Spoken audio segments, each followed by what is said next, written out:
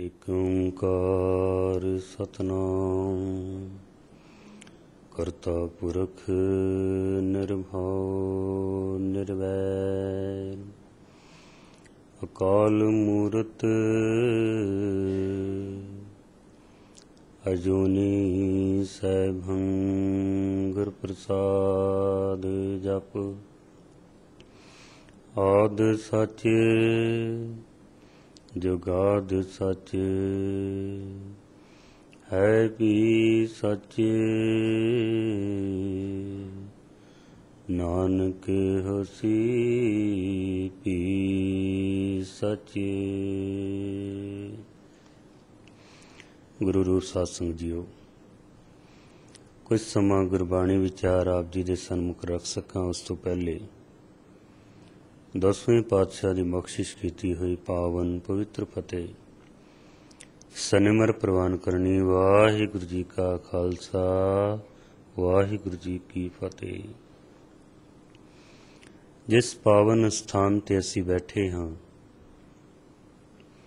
ਇਸ ਨੂੰ ਵਿਦਵਾਨਾਂ ਨੇ ਆਖਿਆ, ਇਹ ਸਤ ਸੰਗਤ ਹੈ। ਸਤ ਸੰਗਤ ਦੇ ਵਿੱਚੋਂ ਅਸੀਂ ਕੀ ਪ੍ਰਾਪਤ ਕਰਨਾ ਹੈ? ਸਤ ਸੰਗਤ ਦੇ ਵਿੱਚੋਂ ਸਾਨੂੰ ਮਿਲਦਾ ਕੀ ਹੈ? ਸਭ ਤੋਂ ਪਹਿਲੇ ਸਾਨੂੰ ਇਹ ਪਤਾ ਹੋਣਾ ਚਾਹੀਦਾ ਹੈ। ਔਰ ਉਸ ਤੋਂ ਵੀ ਪਹਿਲੇ ਇਹ ਪਤਾ ਹੋਵੇ ਕਿ ਸਤ ਸੰਗਤ ਕਿਸ ਨੂੰ ਆਖਦੇ ਨੇ। ਸਤ ਸੰਗਤ ਕੀ ਹੈ? ਕਿਧਰੇ ਵੀ 10 ਵੀ ਮਨੁੱਖਾਂ ਨੂੰ ਇਕੱਠੇ ਕਰ ਲੈਣਾ ਉਸ ਨੂੰ ਸਤ ਸੰਗਤ ਨਹੀਂ ਕਿਹਾ ਜਾ ਸਕਦਾ ਹੈ। ਕਿਧਰੇ ਕੋਈ 150 ਮਨੁੱਖ ਇਕੱਠੇ ਹੋ ਕੇ ਬਹਿ ਜਾਣ ਉਸ ਨੂੰ ਸਤ ਸੰਗਤ ਨਹੀਂ ਕਿਹਾ ਜਾ ਸਕਦਾ ਹੈ। ਕਿਧਰੇ ਅਸੀਂ ਭੀੜ ਇਕੱਠੀ ਕਰ ਲਈਏ ਉਸ ਨੂੰ ਵੀ ਸਤ ਸੰਗਤ ਨਹੀਂ ਕਿਹਾ ਜਾ ਸਕਦਾ। ਕਿਉਂਕਿ ਭੀੜਾਂ ਤੇ ਬਾਜ਼ਾਰਾਂ ਦੇ ਵਿੱਚ ਬਹੁਤ ਨੇ। ਸ਼ਰਾਬਖਾਨਿਆਂ ਦੇ ਵਿੱਚ, ਜੂਏ ਖਾਨਿਆਂ ਦੇ ਵਿੱਚ, ਵੈਸ਼ਿਆਲਿਆਂ ਦੇ ਵਿੱਚ, ਸਭ ਜਗ੍ਹਾ ਤੇ ਭੀੜ ਬਹੁਤ ਹੈ। ਪਰ ਇਸ ਸਭ ਨੂੰ ਸਤ ਸੰਗਤ ਨਹੀਂ ਕਿਹਾ ਜਾ ਸਕਦਾ ਹੈ। ਕਿਸੇ ਦੇ ਘਰ ਕੋਈ ਵਿਆਹ ਸ਼ਾਦੀ ਹੈ 150 ਬੰਦੇ ਤੇ ਉੱਥੇ ਵੀ ਇਕੱਠੇ ਹੋ ਜਾਂਦੇ ਨੇ। ਕਿਸੇ ਦੇ ਘਰ ਮੌਤ ਹੋ ਗਈ ਹੈ 100 ਬੰਦਾ ਤੇ ਉੱਥੇ ਵੀ ਇਕੱਠਾ ਹੋ ਜਾਂਦਾ ਹੈ। ਔਰ ਇਸ ਨੂੰ ਸਤ ਸੰਗਤ ਨਹੀਂ ਕਿਹਾ ਜਾ ਸਕਦਾ ਹੈ। ਗੁਰੂ ਗ੍ਰੰਥ ਸਾਹਿਬ ਮਹਾਰਾਜ ਸੱਚੇ ਪਾਤਸ਼ਾਹ ਜੀ ਕੋਲੋਂ ਪੁੱਛੀਏ, ਸਤਿਗੁਰ ਜੀ, ਸਤ ਸੰਗਤ ਕਿਸ ਨੂੰ ਆਖਦੇ ਹਨ? ਤੋ ਮਹਾਰਾਜ ਸੱਚੇ ਪਾਤਸ਼ਾਹ ਜੀ ਦੱਸਦੇ ਨੇ, ਸਤਿਗੁਰੂ ਕਹਿੰਦੇ ਨੇ, ਸਤ ਸੰਗਤ ਕੈਸੀ ਜਾਣੀਏ, ਜਿੱਥੇ ਏਕੋ ਨਾਮ ਵਖਾਣੀਏ। ਸਤ ਸੰਗਤ ਕੇਵਲ ਉਸੇ ਨੂੰ ਹੀ ਕਿਹਾ ਜਾ ਸਕਦਾ ਹੈ ਜਿੱਥੇ ਬੈਠ ਕੇ ਉਸ ਪ੍ਰਮਾਤਮਾ ਦੇ ਨਾਮ ਦਾ ਸਿਮਰਨ ਕੀਤਾ ਜਾਵੇ। ਸਤ ਸੰਗਤ ਕੇਵਲ ਉਸੇ ਨੂੰ ਕਿਹਾ ਜਾ ਸਕਦਾ ਹੈ, ਜਿੱਥੇ ਬੈਠ ਕੇ ਉਸ ਪ੍ਰਭੂ ਦੇ ਨਾਮ ਨਾਲ ਜੁੜਿਆ ਜਾ ਸਕੇ। ਸਤ ਸੰਗਤ ਕੇਵਲ ਉਹੀ ਹੈ, ਜਿੱਥੇ ਬਹਿ ਕੇ ਪਰਿਪੂਰਨ ਪ੍ਰਮਾਤਮਾ ਦੇ ਨਾਮ ਦੀ ਵਿਚਾਰ ਕੀਤੀ ਜਾ ਸਕੇ। ਕਿਧਰੇ 10 ਵੀ ਮਨੁੱਖ ਇਕੱਠੇ ਹੋ ਜਾਣ, ਉਸ ਨੂੰ ਸਤ ਸੰਗਤ ਨਹੀਂ ਕਿਹਾ ਜਾ ਸਕਦਾ ਹੈ। ਸਤ ਸੰਗਤ ਦੀ ਵਿਆਖਿਆ ਭਾਈ ਸਾਹਿਬ, ਭਾਈ ਗੁਰਦਾਸ ਜੀ ਨੇ ਬੜੀ ਕਮਾਲ ਦੀ ਕੀਤੀ ਹੈ। ਭਾਈ ਗੁਰਦਾਸ ਜੀ ਕਹਿੰਦੇ ਨੇ, ਧਰਮਸ਼ਾਲ ਕਰਤਾਰਪੁਰ ਸਾਧ ਸੰਗਤ ਸੱਚਖੰਡ ਵਸਾਇਆ। ਗੁਰੂ ਨਾਨਕ ਦੇਵ ਜੀ ਮਹਾਰਾਜ ਨੇ ਆਪਣੀ ਪਿਛਲੀ ਉਮਰ ਦੇ ਵਿੱਚ ਕਰਤਾਰਪੁਰ ਦੇ ਵਿੱਚ ਇੱਕ ਧਰਮਸ਼ਾਲਾ ਬਣਾਈ। ਪੁਰਾਣੇ ਜ਼ਮਾਨੇ ਦੇ ਵਿੱਚ ਜਿੱਥੇ ਬੈਠ ਕੇ ਧਰਮ ਦੀ ਗੱਲ ਕੀਤੀ ਜਾਂਦੀ ਸੀ, ਜਿੱਥੇ ਬਹਿ ਕੇ ਪ੍ਰਮਾਤਮਾ ਦੇ ਨਾਮ ਦਾ ਸਿਮਰਨ ਕੀਤਾ ਜਾਂਦਾ ਹੈ ਉਸ ਨੂੰ ਧਰਮਸ਼ਾਲਾ ਕਿਹਾ ਜਾਂਦਾ ਸੀ।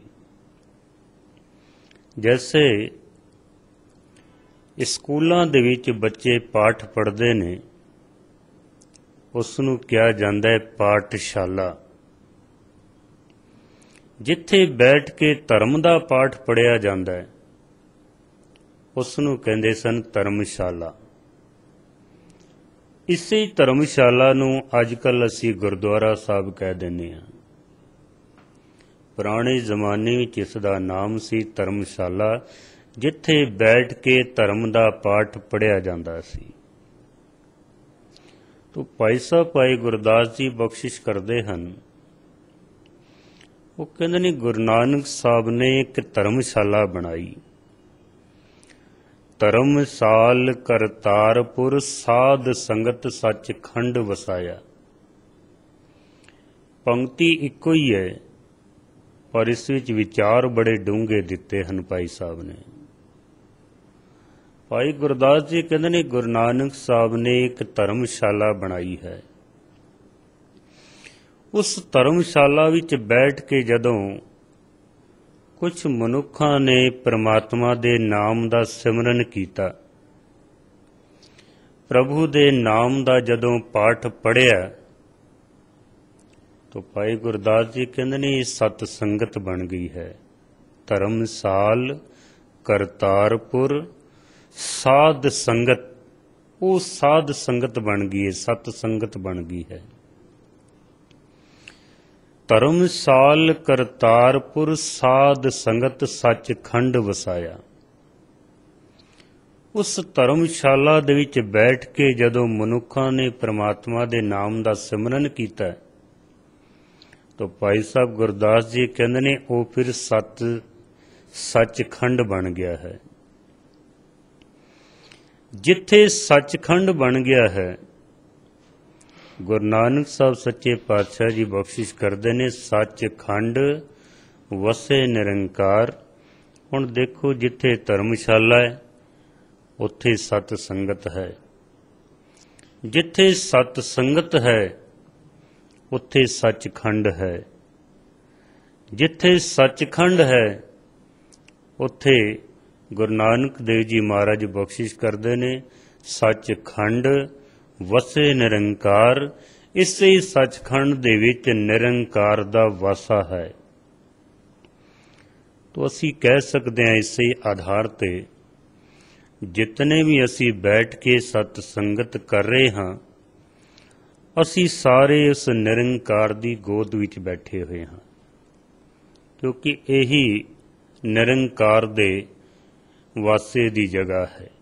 ਇਸੇ ਹੀ ਪਾਵਨ ਸਥਾਨ ਤੇ ਨਿਰੰਕਾਰ ਦਾ ਵਾਸਾ ਹੁੰਦਾ ਹੈ। ਹੁਣ ਇਸ ਸਤ ਸੰਗਤ ਜਿੱਥੇ ਬੈਠ ਕੇ ਪ੍ਰਮਾਤਮਾ ਦੇ ਨਾਮ ਦਾ ਸਿਮਰਨ ਕੀਤਾ ਜਾਂਦਾ ਹੈ, ਇੱਥੋਂ ਅਸੀਂ ਪ੍ਰਾਪਤ ਕੀ ਕਰਨਾ ਹੈ? ਸਭ ਤੋਂ ਪਹਿਲਾ ਸਵਾਲ ਹੀ ਇਹ ਹੈ ਕਿ ਮਨੁੱਖ ਨੇ ਸਤ ਸੰਗਤ ਦੇ ਵਿੱਚੋਂ ਪ੍ਰਾਪਤ ਕੀ ਕਰਨਾ ਹੈ?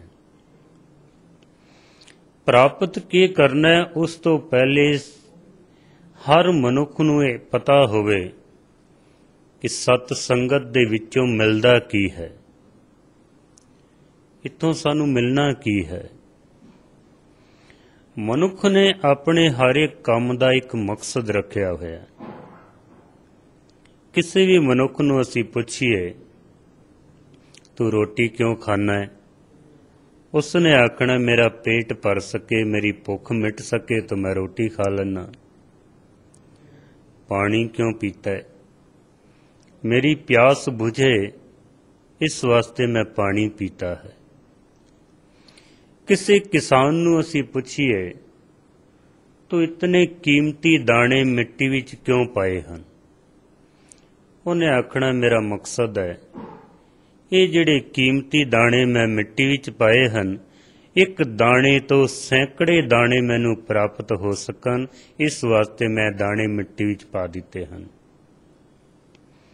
ਮਨੁੱਖ ਨੇ ਆਪਣੇ ਜੀਵਨ ਦੇ ਹਰ ਇੱਕ ਕੰਮ ਦਾ ਇੱਕ ਮਕਸਦ ਰੱਖਿਆ ਹੈ।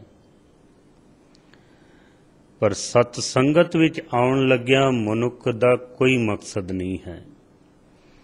ਬਸ ਅਸੀਂ ਘਰੋਂ ਦੌੜਦੇ ਹੋਏ ਆ ਜਾਂਦੇ ਆ ਭੱਜਦਿਆਂ ਹੋਇਆ ਮੱਥਾ ਟੇਕਿਆ, ਪਰਿਕਰਮਾ ਕੀਤੀ, ਫਿਰ ਮੱਥਾ ਟੇਕਿਆ, ਉਸੇ ਪੈਰੀ ਅਸੀਂ ਫਿਰ ਵਾਪਸ ਚਲੇ ਜਾਂਦੇ ਹਾਂ। ਸਤ ਸੰਗਤ ਦੇ ਵਿੱਚੋਂ ਅਸੀਂ ਕੀ ਪ੍ਰਾਪਤ ਕਰਨਾ ਹੈ? ਇੱਥੋਂ ਸਾਨੂੰ ਮਿਲਦਾ ਕੀ ਹੈ? ਸਤ ਸੰਗਤ ਵਿੱਚ ਆਉਣ ਦੇ ਨਾਲ ਸਾਡੀ ਕੀ ਅਵਸਥਾ ਬਣ ਜਾਂਦੀ ਹੈ? ਮਨੁੱਖ ਨੇ ਅੱਜ ਤੱਕ ਇਸ ਪਾਸੇ ਧਿਆਨ ਦਿੱਤਾ ਹੀ ਨਹੀਂ ਹੈ। ਐਸਾ ਨਹੀਂ ਕਿ ਸਾਰੇ ਇਸ ਤਰ੍ਹਾਂ ਹੋਣ, ਪਰ ਬਹੁਤ ਘੱਟ ਮਨੁੱਖ ਐਸੇ ਨੇ ਜਿਨ੍ਹਾਂ ਨੇ ਸਤ ਸੰਗਤ ਦੇ ਵਿੱਚ ਆਉਣ ਦਾ ਇੱਕ ਮਕਸਦ ਰੱਖਿਆ ਹੋਵੇ। ਹੁਣ ਮੈਂ ਅਰਜ਼ ਕਰਨ ਲੱਗਾ, ਸਤ ਸੰਗਤ ਦੇ ਵਿੱਚੋਂ ਸਾਨੂੰ ਪ੍ਰਾਪਤ ਕੀ ਹੁੰਦਾ ਹੈ? ਪਹਿਲੇ ਤੇ ਸਾਨੂੰ ਪਤਾ ਹੋਵੇ ਨਾ, ਇੱਥੋਂ ਮਿਲਣਾ ਕੀ ਹੈ।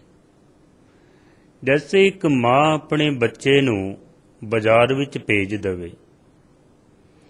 ਹੁਣ ਇਸ ਬੱਚੇ ਨੂੰ ਪਤਾ ਹੀ ਨਾ ਹੋਵੇ ਕਿ ਮੈਂ ਬਾਜ਼ਾਰ ਵਿੱਚੋਂ ਲੈਣਾ ਕੀ ਹੈ। ਸਾਰਾ ਦਿਨ ਬੱਚਾ ਡੋਲਦਾ, ਭੱਜਦਾ, ਦੌੜਦਾ, ਖਾਲੀ ਹੱਥ ਸ਼ਾਮ ਨੂੰ ਵਾਪਸ ਆ ਜਾਏਗਾ। ਕਿਉਂਕਿ ਇਸ ਬੱਚੇ ਨੂੰ ਪਤਾ ਹੀ ਨਹੀਂ ਹੈ ਕਿ ਮੈਂ ਲੈਣਾ ਕੀ ਹੈ। ਮਨੁੱਖ ਨੂੰ ਵੀ ਆਪਣੇ ਮਕਸਦ ਦਾ ਪਤਾ ਨਹੀਂ ਹੈ ਕਿ ਮੈਂ ਕਿਸ ਪਾਸੇ ਜਾਣਾ ਹੈ। ਸਤ ਸੰਗਤ ਵਿੱਚ ਆ ਰਹੇ ਹਾਂ, ਪਰ ਇਥੋਂ ਅਸੀਂ ਪ੍ਰਾਪਤ ਕੀ ਕਰਨਾ ਹੈ? ਸਾਨੂੰ ਕੁਝ ਵੀ ਨਹੀਂ ਪਤਾ ਹੈ। ਗੁਰੂ ਗ੍ਰੰਥ ਸਾਹਿਬ ਮਹਾਰਾਜ ਦੀ ਬਾਣੀ ਬਖਸ਼ਿਸ਼ ਕਰਦੀ ਹੈ, ਸਤ ਸੰਗਤ ਦੇ ਵਿੱਚੋਂ ਅਸੀਂ ਕੀ ਪ੍ਰਾਪਤ ਕਰਨਾ ਹੈ? ਸਤਿਗੁਰ ਸੱਚੇ ਪਾਤਸ਼ਾਹ ਜੀ ਕਹਿੰਦੇ ਨੇ, ਹਰ ਰਸ ਕੀ ਕੀਮਤ ਕਹੀ ਨਾ ਜਾਏ। ਹਰੀ ਪ੍ਰਮਾਤਮਾ ਦੇ ਨਾਮ ਦੇ ਰਸ ਦੀ ਕੀਮਤ ਕਹੀ ਨਹੀਂ ਜਾ ਸਕਦੀ ਹੈ। ਪਰਮਾਤਮਾ ਦੇ ਨਾਮ ਦੀ ਕੀਮਤ ਵੀ ਨਹੀਂ ਕਹੀ ਜਾ ਸਕਦੀ ਹੈ। ਹੁਣ ਕੀਮਤ ਦੇਣਾ ਤੇ ਦੂਰ ਦੀ ਗੱਲ ਹੈ। ਸੱਚੇ ਪਾਤਸ਼ਾਹ ਜੀ ਬਖਸ਼ਿਸ਼ ਕਰਦੇ ਹਨ ਕਿ ਕੀਮਤ ਕਹੀ ਵੀ ਨਹੀਂ ਜਾ ਸਕਦੀ ਹੈ। ਚਲੋ ਮੈਂ ਕਿਸੇ ਵਸਤੂ ਨੂੰ ਖਰੀਦ ਨਹੀਂ ਸਕਦਾ। ਮੇਰੇ ਕੋਲ ਪੈਸੇ ਨਹੀਂ ਹਨ। ਪਰ ਮੈਂ ਉਸ ਦੀ ਕੀਮਤ ਤੇ ਲਾ ਸਕਦਾ ਨਾ ਵੀ ਇਤਨੇ ਦੀ ਹੋ ਸਕਦੀ ਹੈ। ਸਤਿਗੁਰ ਸੱਚੇ ਪਾਤਸ਼ਾਹ ਜੀ ਬਖਸ਼ਿਸ਼ ਕਰਦੇ ਹਨ ਕਿ ਪ੍ਰਮਾਤਮਾ ਦੇ ਨਾਮ ਦੀ ਕੀਮਤ ਕਹੀ ਨਹੀਂ ਜਾ ਸਕਦੀ ਹੈ। ਸਤਿਗੁਰ ਜੀ ਪਾਵਨ ਬਾਣੀ ਦੇ ਵਿੱਚ ਬਖਸ਼ਿਸ਼ ਕਰ ਰਹੇ ਹਨ ਕਿ ਹਰ ਰਸ ਕੀ ਕੀਮਤ ਕਹੀ ਨਾ ਜਾਏ। ਪਰਮਾਤਮਾ ਦੇ ਨਾਮ ਦੇ ਰਸ ਦੀ ਕੀਮਤ ਕਹੀ ਨਹੀਂ ਜਾ ਸਕਦੀ ਹੈ। ਮਨੁੱਖ ਨੇ ਜੋ ਕੁਝ ਵੀ ਸੰਸਾਰ ਵਿੱਚ ਬਣਾਇਆ ਹੈ, ਉਹਦੀ ਹਰ ਇੱਕ ਬਣਾਈ ਹੋਈ ਵਸਤੂ ਦੀ ਕੋਈ ਨਾ ਕੋਈ ਕੀਮਤ ਦਿੱਤੀ ਜਾ ਸਕਦੀ ਹੈ। ਲੇਕਿਨ ਪ੍ਰਮਾਤਮਾ ਦੀ ਬਣਾਈ ਹੋਈ ਛੋਟੀ ਤੋਂ ਛੋਟੀ ਵਸਤੂ ਦੀ ਵੀ ਕੋਈ ਕੀਮਤ ਨਹੀਂ ਹੈ। ਜੈਸੇ ਪਰਿਪੂਰਨ ਪ੍ਰਮਾਤਮਾ ਨੇ ਪਾਣੀ ਬਣਾਇਆ ਉਸ ਦੇ ਬਣਾਏ ਹੋਏ ਪਾਣੀ ਦੀ ਕੋਈ ਕੀਮਤ ਨਹੀਂ ਹੈ। ਮਨੁੱਖ ਨੇ ਇਸ ਪਾਣੀ ਨੂੰ ਫਿਲਟਰ ਕਰਕੇ ਇੱਕ ਬੋਤਲ ਵਿੱਚ ਬੰਦ ਕੀਤਾ ਮਨੁੱਖ ਨੇ ਪਾਣੀ ਨੂੰ ਫਿਲਟਰ ਕਰਕੇ ਬੋਤਲ ਵਿੱਚ ਬੰਦ ਕੀਤਾ ਤਾਂ ਉਸ ਦੀ ਕੀਮਤ ਰੱਖ ਦਿੱਤੀ ਹੈ 15 ਰੁਪਏ 20 ਰੁਪਏ। ਇਹ ਸਿਰਫ ਪਾਣੀ ਨੂੰ ਫਿਲਟਰ ਕਰਨ ਦੀ ਕੀਮਤ ਹੈ, ਪਾਣੀ ਦੀ ਕੀਮਤ ਨਹੀਂ ਹੈ। ਕਿਉਂਕਿ ਪਾਣੀ ਬਣਾਇਆ ਇਸ ਪਰਿਪੂਰਨ ਪ੍ਰਮਾਤਮਾ ਨੇ। ਮਨੁੱਖ ਪਾਣੀ ਨਹੀਂ ਬਣਾ ਸਕਦਾ। ਅਗਰ ਮਨੁੱਖ ਪਾਣੀ ਬਣਾ ਸਕੇ, ਸਾਡੇ ਰਾਜਸਥਾਨ ਦੇ ਵਿੱਚ ਪਾਣੀ ਦੀ ਬਹੁਤ ਤੰਗੀ ਹੈ। ਉਹ ਪਾਣੀ ਬਣਾ ਕੇ ਆਪਣੀ ਕਮੀ ਪੂਰੀ ਕਰ ਸਕਦੇ ਹਾਂ। ਪਾਣੀ ਇਸ ਪ੍ਰਮਾਤਮਾ ਨੇ ਬਣਾਇਆ, ਮਨੁੱਖ ਪਾਣੀ ਨਹੀਂ ਬਣਾ ਸਕਦਾ।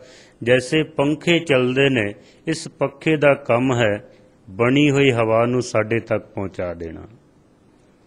ਪਰ ਇਸ ਪੰਖੇ ਦੀ ਕੀਮਤ ਹੈ। ਪਰਮਾਤਮਾ ਦੀ ਬਣਾਈ ਹੋਈ ਹਵਾ ਦੀ ਕੋਈ ਕੀਮਤ ਨਹੀਂ ਹੈ।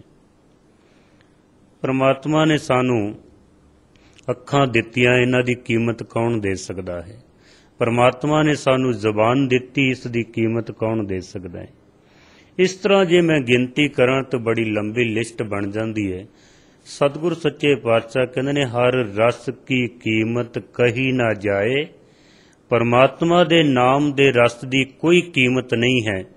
ਔਰ ਉਹ ਪ੍ਰਾਪਤ ਕਿੱਥੋਂ ਹੁੰਦਾ ਹੈ? ਹਰ ਰਸ ਸਾਧੂ ਹਟ ਸਮਾਏ। ਸਤਿਗੁਰ ਸੱਚੇ ਪਾਤਸ਼ਾਹ ਕਹਿੰਦੇ ਨੇ, ਪ੍ਰਮਾਤਮਾ ਜਿਸ ਦੇ ਨਾਮ ਦੀ ਕੋਈ ਕੀਮਤ ਨਹੀਂ ਹੈ, ਉਸ ਨੂੰ ਪ੍ਰਾਪਤ ਕੀਤਾ ਜਾ ਸਕਦਾ ਹੈ। ਹਰ ਰਸ ਸਾਧੂ ਹਾਟ ਸਮਾਏ। ਹਰੀ ਪ੍ਰਮਾਤਮਾ ਦਾ ਨਾਮ ਦਾ ਰਸ ਹਾਟ ਕਹਿੰਦੇ ਨੇ ਦੁਕਾਨ ਨੂੰ, ਸਾਧ ਕਹਿੰਦੇ ਨੇ ਸਾਧਨਾ ਕਰਨ ਵਾਲੇ ਨੂੰ। ਸਾਧਨਾ ਕਰਨ ਵਾਲੇ ਦੀ ਦੁਕਾਨ ਤੋਂ ਪਰਮਾਤਮਾ ਦੇ ਇਸ ਨਾਮ ਦੀ ਪ੍ਰਾਪਤੀ ਕੀਤੀ ਜਾ ਸਕਦੀ ਹੈ। ਸਤਿਗੁਰ ਦੀ ਬਖਸ਼ਿਸ਼ ਕਰਨ। ਉਸ ਦੇ ਨਾਮ ਦੀ ਸਾਨੂੰ ਪ੍ਰਾਪਤੀ ਹੋਵੇ। ਬੁੱਲਾਂ ਚੁੱਕਾਂ ਦੀ ਸ਼ਮਾ ਵਾਹਿਗੁਰੂ ਜੀ ਕਾ ਖਾਲਸਾ। ਵਾਹਿਗੁਰੂ ਜੀ ਕੀ ਫਤਿਹ।